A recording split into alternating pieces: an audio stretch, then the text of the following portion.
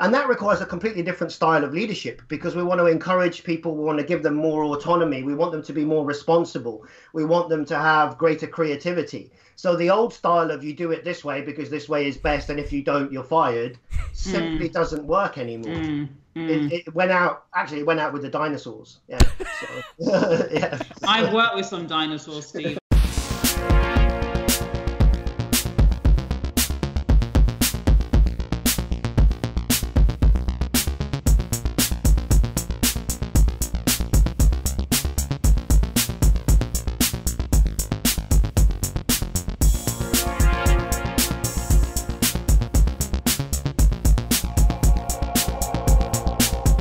Welcome to the Masks Off podcast Leadership Strategies, No Disguises.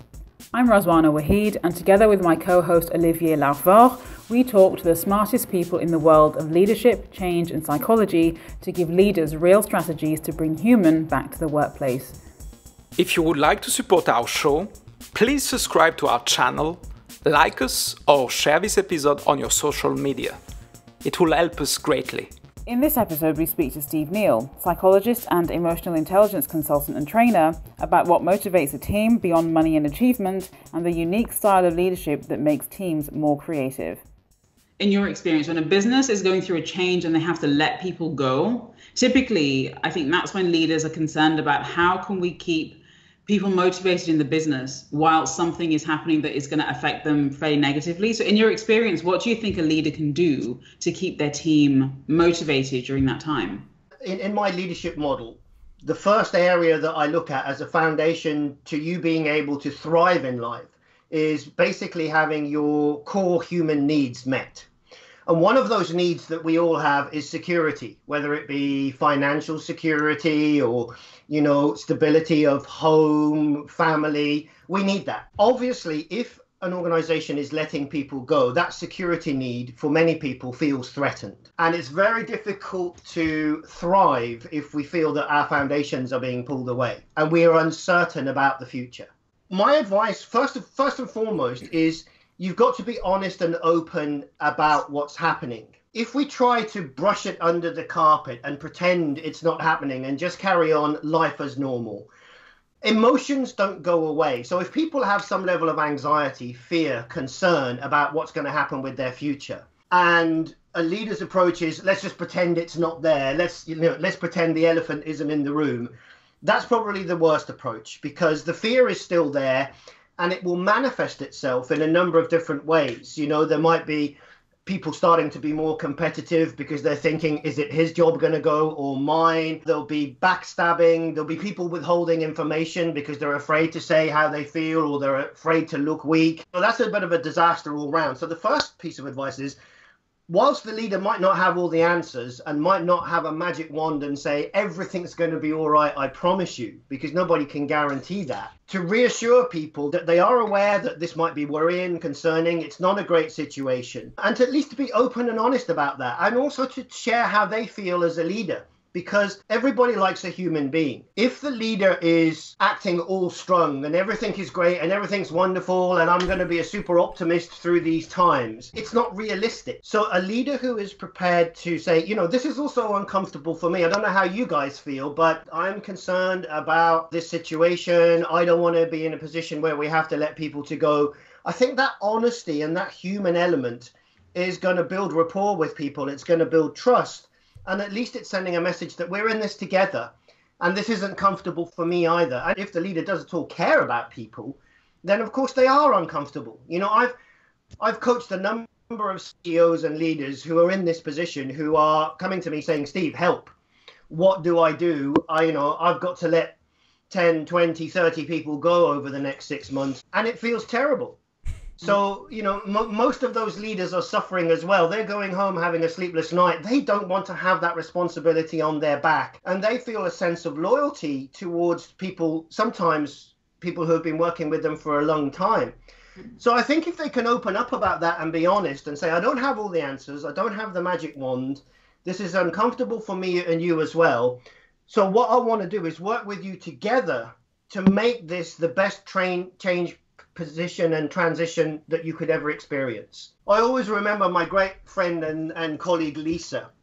Lisa Spencer Arnell, uh, she was recruited by one leader in one organization that had mass redundancies coming up. And her job was to make this the best redundancy ever for those people. It And sounds a that little bit, you know, but okay.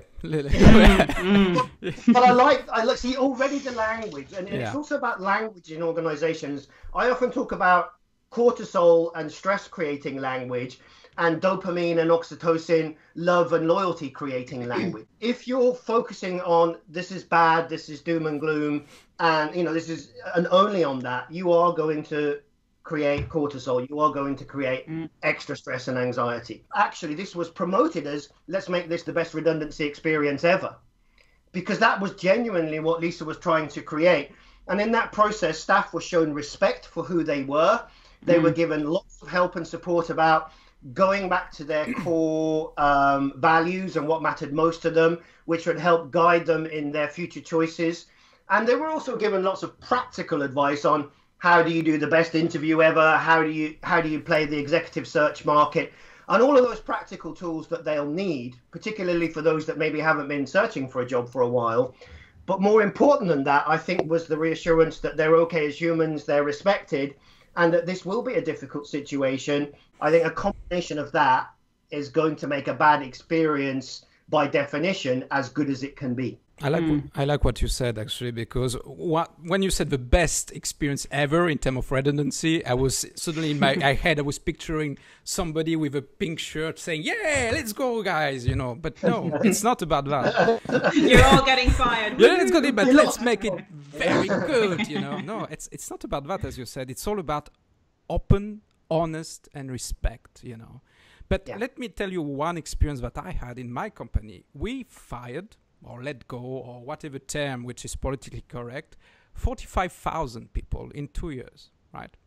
Okay. The thing is, nobody were talking about it. You know, they were you you were looking at my intranet, and it was all about we are the best in the world and everything is super duper. It's everything is super nice. Nobody were talking about it.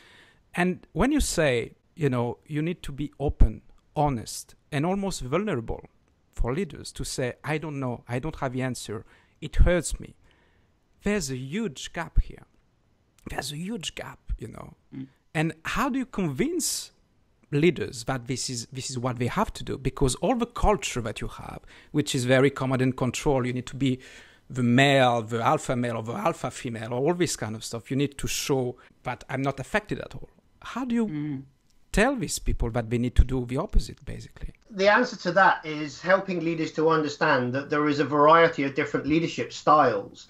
And to be a truly great leader you need to be flexible. There was the the trends two or three years ago or more with situational leadership which I, I you know is kind of a buzzword. The way in which i agree with situational leadership is different situations do require a different style of leadership albeit with authenticity so this is not about leaders pretending to be someone they're not, but a leader should be flexible. You know, if a really important crisis comes in with an instant decision is made, perhaps a leader, just like someone who's leading an expedition in the Arctic, when an Arctic storm, com- storm comes along, you need a leader to be directive and take charge and tell people what to do. Sure. But in many other situations, a leader needs to be more democratic, more understanding, more coaching in his or her style, uh, building trust and rapport and empathy. And actually, you mentioned the word there, Olivier, um, vulnerability. Vulnerability breeds trust and loyalty and connection. Because Obviously. it's saying I'm not this super strong leader with this wall around me, which is always, uh, you know, a, a facade. It, it, it, it's it's it's never true in all situations because no leader can be that. I'm actually human too. I don't have all the answers. I care about this, and it worries and concerns me if of my friends and colleagues are going to lose their jobs. But as a team, I want to work with you on this. I want to understand you, and I want to support you in the best way that I can. That's not a directive leader. That's a, a democratic leader. That's a, a coaching style leader. That's a leader who builds affiliation. These are different leadership styles, which are really appropriate in these kinds of situations, I believe. I was actually speaking to uh, a friend of mine. She's a journalist and she was employed by the BBC for a while.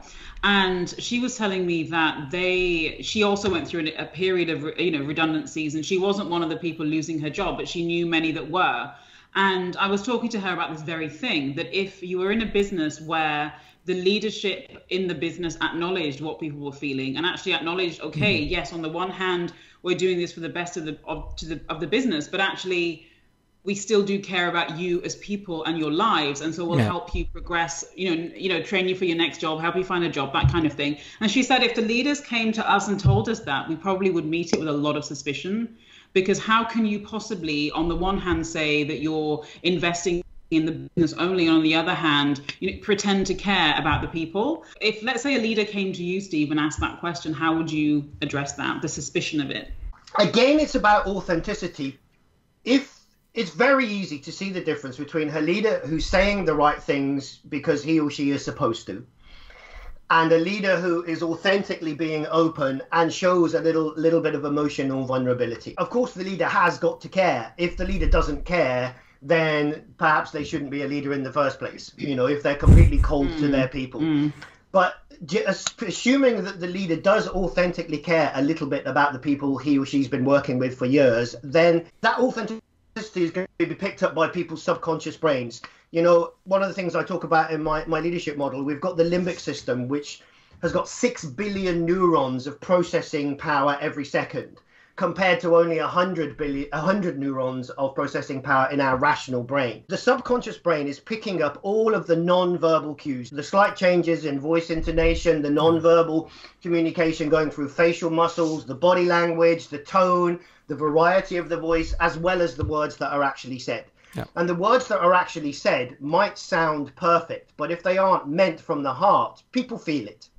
People get a warning signal somewhere. So the leader needs to speak from the heart. It takes a huge amount of effort and strain and energy to try to be someone that you're not. But if that leader sits down for an evening and that person reflects on how they're really feeling about this, why they're concerned about their staff, and taps into those emotions and then shares them, it will be authentic. Yeah. Mm and you won't have that problem of I don't trust you because people feel it rather than are told it. You said you said a scary word here, you know, in business, you know, a bad word that nobody mentioned, heart, heart. Whoa. You know, and actually, I had a, a, you know one of, of of a colleague of mine, a manager. She has been told, you know, you have too much of a heart. You know, you need to stop that. You know, she has been, you know, she has been said by her manager, told by her manager, stop with, with your heart thing.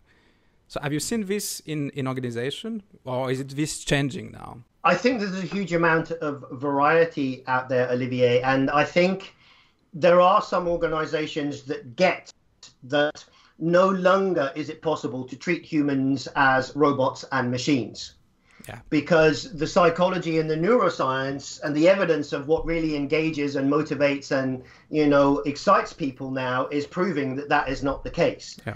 And we've and, and in psychology and neuroscience we've known that for a long time, but for a long time there's been a conflict or a disparity between what a lot of businesses try to do to get high performing motivated loyal staff and what psychology and neuroscience tells us actually creates high performing, motivated, loyal staff. So I think the wiser companies, and I've got a number that I work with to evidence this, they recognize this now. Right now, I've got a, a large contract with a, a, an international company based in Paris working internationally. They're giving people a leadership program for a year which is basically a professional and personal development program. So, you know, I'm teaching people to build up their self belief and have more confidence in themselves, learn how to understand and manage their emotions, learn how to build empathy and rapport with other people, things that will be universally useful for them in their personal life as well as their professional life. Right. So, it's a real gift to their employees. And the attitude is,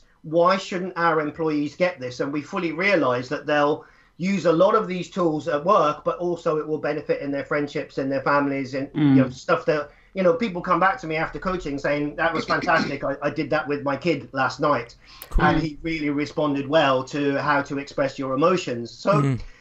and they openly recognize that and they have an attitude that our staff deserve that because our staff are human and we totally recognize we can't treat them like robots. And then there are other organizations that are still perhaps locked in the past where they've got this oversimplistic view of human beings. And whilst it can work in the short term, because sometimes those organizations are getting good business results, the leaders or managers with that style are meeting their KPIs, they're getting the. But from my experience, there's always a, pro- a price, and that price is lack of loyalty, lack of long-term employment. Mm. People would leave the company at the first opportunity. Their employees are working for a paycheck. Yeah. They're not they're not working because they get up in the morning thinking this is the best job in the world and I really love this company and we're making a difference. Yeah. And mm. I can't wait to get there. Mm. And someone that's got that a, a transactional relationship, which is I do the job and get the results, but you pay me, rather right. than a relational kind of bond, which is actually I feel some kind of emotion towards working with you and this company. The first one is short term and quite fickle. The second mm. one creates what so many companies talk about but fail to achieve, which is long term motivation, engagement, and loyalty. That's actually the thing right now engagement. Everyone now wants engagement. Actually, let me tell you something about that. You know, I went to the HR Expo in Paris. Every stand they had a digital solution for it. Everything, everything was digital, you know. Mm. So it's something. Okay, fine, fine. You need systems, you need you know application, and you need whatever your 3D things, whatever, right? But something was lacking. Everybody wants engagement, motivated employee, loyalty, trust, and all these things, and their system. Is there like something which is, uh, but I'm not getting here, or is there like something which uh, we are not addressing properly? Yeah, I mean, again, I totally understand. I'm, I'm coming across more and more these super sophisticated digital engagement surveys. First of all, I've, I've met more than enough companies where on the engagement survey level, things look good. Oh, we're scoring a 72% for our staff. Our target is 75, but we're happy. Yeah. And then in one-to-one coaching relationships where staff really open up to me, I hear a very different story. Yeah they work you like hell in this place. I'm stressed. My work life balance, we're not respected. We're expected, it's the norm that we're supposed to be here till seven o'clock at night. And if we, we go earlier, people look down on us. That's what I hear from the staff. Well, but now, and I even know of a couple of organizations where the company is kind of pressuring staff to show high grades on these engagement survey surveys so they can publish them and show to the world we're the best employer Wow. So, so I even have examples of you know, some some of the top international companies where they get emails out from their line managers before the week before the engagement survey with a kind of engagement surveys coming up. Now, I trust, just like me, you find everything favourable, and you know, and and by the way, we are really keen to maintain our you know best employer or best top five employer status in in this country just so you're aware of that. So you know uh, what you need to do now. you understand me? so, so whilst there can be some validity in engagement service surveys, provided that the right setup, so they should first of all be confidential, so that people feel free, and that people should trust in that confidentiality, so people feel free to say what they really want to say.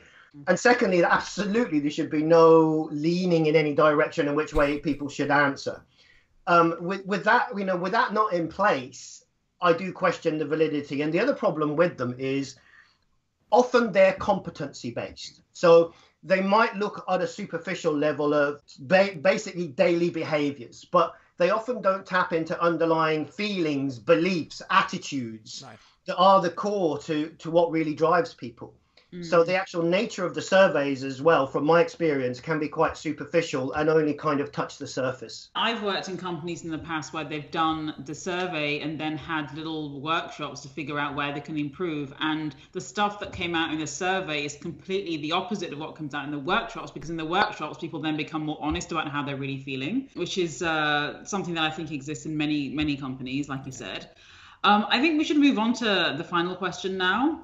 I guess in your experience, Steve, why do teams typically underperform, and what can a leader do to increase performance? there are obviously a number of answers to that question, and it very much depends on the team. But I'll, I'll talk about a common problem that I experience because the majority of my experience with teams is with senior management teams. The big problems are ego and individual need. So you've got the finance director, and he's only really caring about his department and then you know and then you've got the marketing and sales director and she's only really bothered about her. So what you've actually got is on paper it says we are the senior management team but what you've actually got is a group of people who've been put together. It's just like a group of, of football fans. They're all supporting the same team but they're not actually a team themselves. They're a group because they haven't got clear roles. Mm. what is lacking is first of all clarity of the team's purpose. Yeah. Right. And that should obviously be linked to the organization's vision and purpose as well. But what are, you know, okay, we know what your job is in finance, we know what your job is in marketing and sales. What are we trying to set out as achieve and achieve as a team that makes us a unit rather than eight individuals that happen to be put together and we have to sit in a room once a month, which is really boring and a waste of time? That's the first problem. The second thing that teams lack is because first of all by by solving the first problem you've got to create a sense of loyalty and purpose to the team and start challenging the egos. Because you know a very simple saying that i i believe in is it's about we go not ego. But if you don't have a we go if you don't have a, a shared common purpose that everyone believes in which is bigger than any individual then you're going to ha- end up with these egos and it's all about my finance it's all about my sales mm. etc and then once you've got that common purpose you need a clear code of behavior that the team agrees on and monitors and discusses and develops and that normally stems from not a nice set of values on the wall that some consultant has created and the, the, company's paid a lot of money for and you occasionally see it once in a while but means absolutely nothing. But by by a living and breathing set of values that okay you know the organization can easily say it's about respect professionalism and integrity for us. Marvelous. What the hell does that mean? So has mm. the team taken those values and actually broken that down into what does that mean for us? What does that mean in specific daily behaviors? And have we defined that behavior code?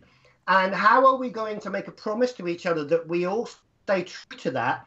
And how are we going to monitor and evaluate that? Are we going to have it as a regular item on our agenda? You know, so are we going to have in living and breathing values as a as a code of way we behave, or are they just something nice that we can show and put on a beautiful plaque and stick on our website. But actually, it's meaningless because mm. no one's ever defined what respect means here. So, you know, Andre over here, he's going away behaving in one way and he thinks that's respectful. But but Jonas here has got a totally different definition of respect and he does this and he thinks it's respectful. And of course, they're constantly disagreeing on that. And again, it's about creating that agreed right. living, breathing behavior code of values as a team, and then monitoring and evaluating and measuring it. Mm-hmm. You know, you can't just agree on it. You've mm-hmm. actually got to act. How you know, and and you use the values as an active part of your decision making, your meetings, your discussions, so that they are meaning something rather than a waste of time. What I'm hearing here, it's not about competency in teams, you know, how to make like the best team ever. It's not about skills, competency. It's really about talking honestly with each other and see what is. You know, it's about trust and opening, as you said. So I, I, I, like that, you know. But I think it's the most mm. difficult thing actually to achieve, you know, because you, as you said, there's the ego, always the ego in front. You know, I need to protect, protect, and protect. I love that. Yeah. And again, it comes back to who is in those leadership positions. You know, we talked earlier about leadership style, and gone is the need for the solely directive, I'm strong in control leader. That was great, possibly when we were cavemen and women, but it's not so good in the 21st century. And and also, you know, the business climate is changing. We've gone away now from the industrial time when it was all about hard labor, right. and basically our main job was yeah. to get uh, Jonas to, to take the bricks from here to here in a faster time the, world now is a truly global concept. It's increasingly digital, and we're relying on these international teams, and it's all about intellect, creativity, p- production of new ideas. So we're we're requiring more than ever use of different regions of our brains to stay one step ahead and be competitive on the market. It's a completely different, and that requires a completely different style of leadership because we want to encourage people. We want to give them more autonomy. We want them to be more responsible. We want them to have greater creativity. So the old style of you do it this way because this way is best, and if you don't, you're fired, simply hmm. doesn't work anymore. Hmm. It, hmm. it went out. Actually, it went out with the dinosaurs. Yeah. So, yeah. I've worked with some dinosaurs, Steve. I reckon for some people. it's- We hope you enjoyed this episode. Once again, if you would like to support our show, please subscribe to our channel, like us, or share this episode on your social media. Merci